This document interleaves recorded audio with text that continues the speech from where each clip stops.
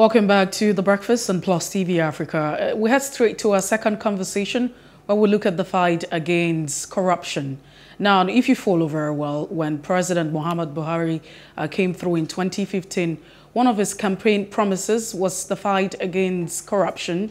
And uh, that has actually, to some people, recorded some kind of success, and to others, it has been very biased. Now, just to you know, fast forward to what's been happening, there's been several reports from the Auditor General of uh, several you know funds that have been uh, misused by different bodies and what have you. Uh, we're just going to be looking at you know the fight against corruption uh, according to the uh, President Muhammad Buhari's campaign promises. How far have we fed? And we do have gentlemen who will be joining the conversation this morning. Alfal, uh, we have uh, Awal Rafsanjani who will be joining the conversation this morning. And we'll also have Eze as well, Onyekpere. Uh, he's also a guest uh, joining us via Zoom. Good morning, gentlemen. It's good to have you join us this morning. Good morning. All right, so um, let's start with Ibrahim Musa. Can you hear me? Yeah, I can hear you very well. All right then. So how, how would you describe, you know, the fight, uh, the fight against corruption? I mean, uh, the President Buhari administration, he came through power and he said that uh, one of the things that he would do would be, you know, fight corruption. There have been a lot of persons that have been mentioned, list of governors, um, in some cases have been convicted, but to some people, he has not been very fair. Uh, there's been some kind of uh, unfairness, not balance, uh, you know, the fight against corruption. But really, really, for the past years that we have right now, six and counting, uh, how far would you describe the fight against corruption of President Buhari? Well, I think the fight against corruption under this administration still remains um, campaign more of a campaign issue because uh, the government actually did not prepare to really put in place system and processes and uh, even you know strengthening the legal framework to fight corruption. It was a very juicy um, topic or issue to convince Nigerians that um, because Nigerians are really sick and tired of corruption, and they just capture that uh, sentiment and moment to build on, on their campaign. So if you look at the government uh, effort in terms of uh, its fight against corruption, it didn't show that in-depth uh, commitment to really fighting corruption because so far legal system or uh, existing legal system that's needed to really uh, help to deepen the fight against corruption have not been really taught. Uh, we're still talking about, uh, you know, the government that is fighting corruption without whistleblowing uh, regime. We're still talking about a government that's supposed to be fighting corruption that still lapses are there in its operation uh, in the fight against corruption. We struggle as civil society to uh, convince the regime to have national strategic um, uh, document on the fight against corruption. But that document, you know, has remained more of like a, uh, just one of those uh, documents that are being kept, you know, in the shelves. Uh, thirdly, there's no way you can fight corruption when procurement system in the country remains one of the worst um, system that allows more corruption uh, in the place. As a result of the corruption, deepening corruption in the country, the insecurity in the country has rather become more uh, vulnerable because procurement of um, arms that are supposed to be uh, bought uh, never see the, the light of the day. Just recently, uh, as part of this audit report, uh, under the police, we were supposed to have equipment and facilities for the Nigerian police. 10 contractors were supposed to be given that contract. Only one person came up with 10 companies, same name, I mean, the same addresses, the same telephone number, since 2019, nobody has brought in any items, and this was of billions, and uh, nobody is saying anything about that. There's no way you say you are fighting corruption when virtually everywhere uh, in the government, either at the federal, at the state, and local government, corruption, you know, is really happening with impunity. So, in terms of legal framework, we have legal framework that is completely not being respected or regarded. The public procurement law, the fiscal responsibility, the even the you know, law, and quite a number of the anti-corruption you know framework that's supposed to help the government is completely in disregard. More importantly, the code of conduct that is supposed to even be supported by the government to really fight corruption. Because if you are talking about fighting corruption, the code of conduct must be strengthened. Right now, as I speak to you, they don't have even resources to even investigate claims of the public office, or you know, uh, who's supposed to file their, uh, you know, uh, assets declaration. So, if you are talking about fight against corruption in Nigeria, you are going to look at various um, aspects. What, when you look at it, it didn't really tally. Despite the commitment made by the President Buhari in 2016 in the anti-corruption conference um, in London, which Transparency International and British government organized, all those issues that the Nigerian government committed to up to now, we have not seen the seriousness in which the government is even dealing with it. So, in totality, when you look at the fight against corruption of this administration, I think you know it remains at just efforts to recover assets that have been stolen by corrupt leaders of yesterday. And today, looters are busy also struggling to loot the recovered asset. And that is why right. you do not even have a legal framework on how to manage uh, the recovered asset. The asset will be recovered and it will be looted again. So the fight against corruption of this administration, it has remained, as far as I'm concerned, um, a campaign, you know, um, issue.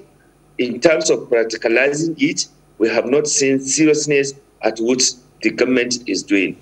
Previous right. administration have ensured that we have even the legal framework. Under this administration, even the Auditor General office that is supposed to be strengthened to make sure that you know it is really um, given the kind of eye that we are looking for, it is not being given that much attention and consideration. So corruption is going on, you know, with, with impunity in the country, and government cannot be telling people that they are fighting corruption. Every day you open newspaper, you listen to radio and TV, you know, it is about looting and corruption in public sector. So there's no way this right. government right, can um, access. Uh, Mr. Rafsanjani, uh, kindly hold on. Let's let's bring in um, Eze Onyekpere, who is also part of the conversation this morning. Um, Mr. Uh, Onyekpere, I want I want you know us to focus on the Auditor General's angle because in the last few days, like I mentioned earlier, um, the Auditor General's office has put out its report for 2021. Um, and um, even previous years, you know, and has detailed billions and billions of naira that seem to have been, you know, simply, you know, misappropriated um, you know, from the police to the National Assembly to customs and immigration and the likes. Um, but we currently are in a country that would hear about these funds being missing, misused, and, and whatnot. And no, nothing seems to happen. There is no further investigation by the um, corruption agencies or by the Nigerian government. We simply just move on like it's a part of our lives to hear that billions of naira have gone missing. Um, so, Mr. Ekber, what then is the use of the Auditor General's office if the government doesn't bother taking action? Good morning, and uh, let me start by saying that corruption has been institutionalized Uh, made systemic in Nigeria by the present administration. It was very convenient for the government to simply use the mantra of fighting corruption to win elections, and thereafter, like a piece of paper, put it back into the shelves, lock up the shelves, and forget it. Now, coming strictly or straightforward to the office of the Auditor General, it was after the Auditor General finishes his work, the PSC Public Accounts Committee in the Senate and House of Reps was bound, we are bound to take it up, look at the issues further, and ensure that public monies have been recovered. But now the 2019 report is telling us about what is going on, the fraud going on in the National Assembly. That raises a very big question. If the National Assembly that is supposed to be uh, to exercise oversight and help in recovering looted funds is now deeply immersed in corruption, then there is a very huge challenge. If you recall, the Auditor General's office is not just like any other uh, anti-corruption agency. It's not politicized. It's a very professional office where what they simply do is to look at your records and accounts as presented by the office.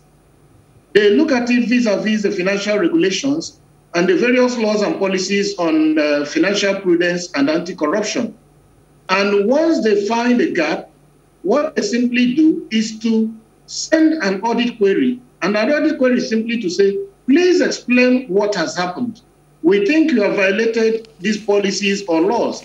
And it is only when you fail to provide satisfactory explanation that the Auditor General now puts it in his final report, which is forwarded to the National Assembly. And the expectation is that all those that were indicted will definitely be made to answer and provide any other information they have to the EAC, failing which the recommendations of the Auditor General will be implemented. Unfortunately, we have a year after year repeat of the same felonies, financial felonies and misdemeanors. All offenses you found that were committed in the 2016 audit report, you find them repeated in 2017. You found them repeated in 2018 as well as in 2019. So the question is, what exactly is going on? The Auditor General is supposed to be a very big bulldog that can bite. But in Nigeria, we've rendered audit office toothless, that it can no longer, you know, give sanctions. We have a situation where what we're even discussing are those who have managed to report. Over 260 something agencies, as reported in the last Auditor General's report, simply refuse to report. Because what we are discussing is that if I report, then you begin to look at the infractions I've committed. If I fail to report, if I know I've committed big financial felonies, I'll simply ignore you and fail to report as many agencies have done, and there is no penalty. Nothing is even done against those who have failed to report. Unfortunately, the General either forgets or fails to even put the name of those agencies that have failed to report in his report. So we are only discussing those who have reported. Those who didn't report, nothing is happening to them. The National Assembly under Saraki had amended the audit law, okay, brought forward a new audit legislation we took cognizance of best practices in modern auditing. And by that, it gave the Auditor General powers to sanction. It also freed Auditor General from going cap in hand to the executive to beg for money. I mean, you can imagine that agency that comes to your accounts to use a toothpick and comb it. If you are also the one to give it the resources to comb your account, you will definitely underfund it because you know that you are being corrupt. And the more you empower that office, definitely the more likelihood that somebody in your office or you yourself will go to jail. So there has been a deliberate attempt to underfund the two constitutional anti-corruption agencies. These are mainly the Code of Conduct Bureau as well as the Auditor General's office. So the president even refused to give assent to that bill as was sent to him by the, the 8th National Assembly. And the current National Assembly, from the last Auditor General's conference, the conference of the General for the Federation and that of the 36 state Auditor Generals, the president simply said that they are still considering an executive bill to send to the National Assembly. So even the private members' bill in the National Assembly is terminated. Nothing is being done to checkmate it. And beyond Auditor General, let me give you one more instance of the most grand corruption going on in Nigeria. In 2015, before the current administration came in, Nigeria was reported to be consuming about 35 million liters of PMS every day. Yes. And on the basis of that, subsidy was being claimed by both the NNPC and other private persons who were importing.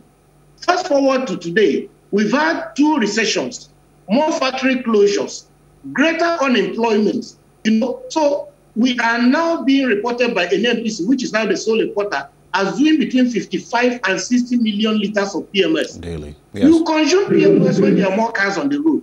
You consume it when there are more factories. You consume it when there are more people in jobs.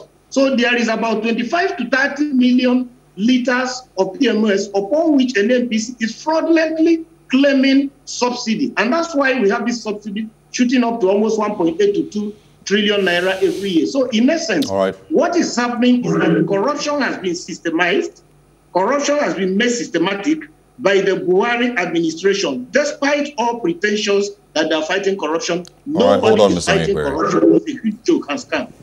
All right. Okay, so um, let's also bring him, uh, bring in Ibrahim Musa now.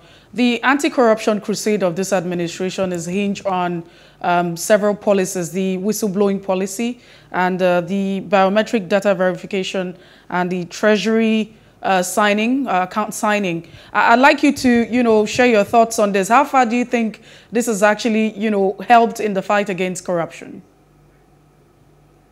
Well, um, the biometric, you know, uh, that's the BVN um, bank verification uh, is actually introduced by the previous administration, and um, uh, the current administration continue with that, which is also good. Uh, but the single treasury account was also introduced by this government. But however, um, analysts, you know, have come up with uh, facts and figures that uh, the single treasury account it doesn't simply even work because many ministries and parastatals they had found a better way to siphon public taxpayers' money. What they do, they create what they call um, project accounts, and this run into billions. Uh, you know, and this project account is handled by individuals, and uh, you know, uh, corruption and diversion of these funds continue unabated. Uh, so, yes, the government claim that they want to introduce whistleblowing policy. The whistleblowing policy, it has also more of like debt. It's a debt um, policy because it is not being practicalized. It has uh, lost all the necessary ingredients for any serious whistleblowing, you know, um, regime to have. We have a bill in the National Assembly introduced under the, um, the previous administration. The government did not support it, did not back it to have a legal, more sustainable legal framework because the policy that you have now is not being actually practiced and is not even a, you know, um, it doesn't meet the best international uh, practice, which we also know. So the fight against corruption of this government, that's why I say they are ill-prepared. They just, you know, um, use that sentiment of um, the fact that corruption is a major, uh, uh, you know, problem we have you know, stop development or that even create the insecurity in the country. And they capitalize on that. And, you know, so far when it comes to real practicing the um, fight against corruption, you don't really see much uh, you have a situation whereby people who are even under this administration, they are being accused of corruption, and shamelessly they are not even bothered. They are not even uh, bothered to resign. Many of them are there, you know, uh, enjoying themselves, and some of them who are under this administration, working under this administration, they even appeared in one of the global scandal, uh, which is um, Paradise and Panama and you know, uh, uh, uh, all sort of global scandal, and nobody has asked them to resign. Nobody has asked them to explain what they have done, and yet they are serving under a government that is fighting corruption. Like I said, flagrant abuse of public procurement law is going on, you know, um, in this country. In fact, some of the ministers who have been accused by this government, that is just to tell you how this government, you know, is taking anti-corruption as a joke you accuse some of the people that you are that they are serving you here yesterday of corruption, and today they are made ministers. They are made to have high-profile position. So how will ever somebody, how will ever somebody take you serious that you have ministers who their cases are still in the you know um, anti-corruption and even in some of them in court and yet they are the one now rolling the government. This is just a joke.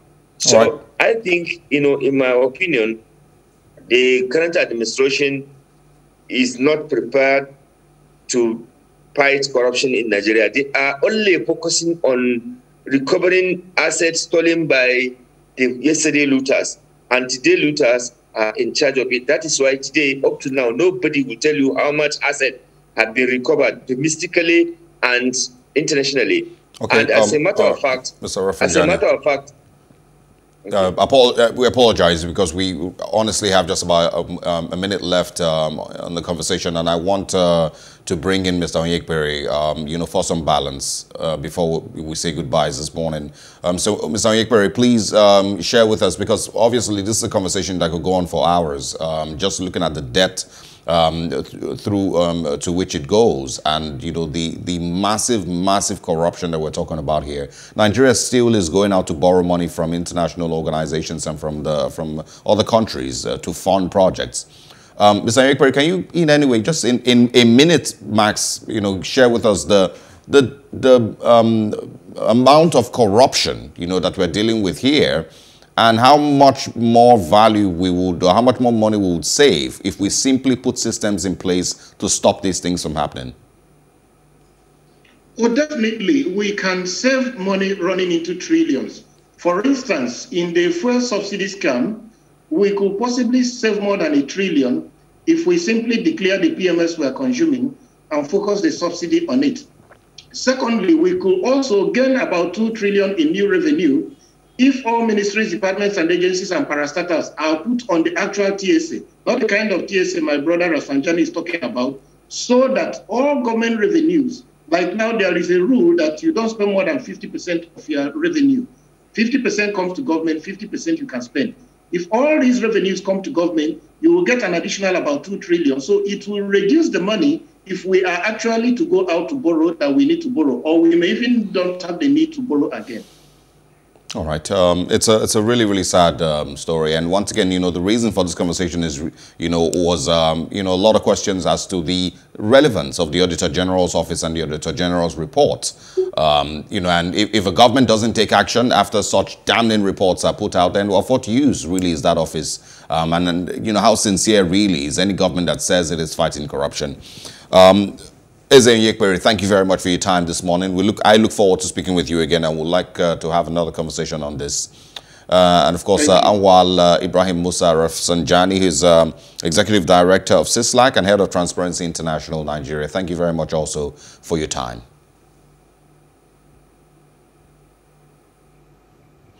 All right. Uh, I think we've lost sound from there. Thank you also uh, to our viewers this morning um, for joining us and for being a part of the conversation. If you would like to catch up, if you missed out on any of these uh, discussions, you know where to find us. Simply.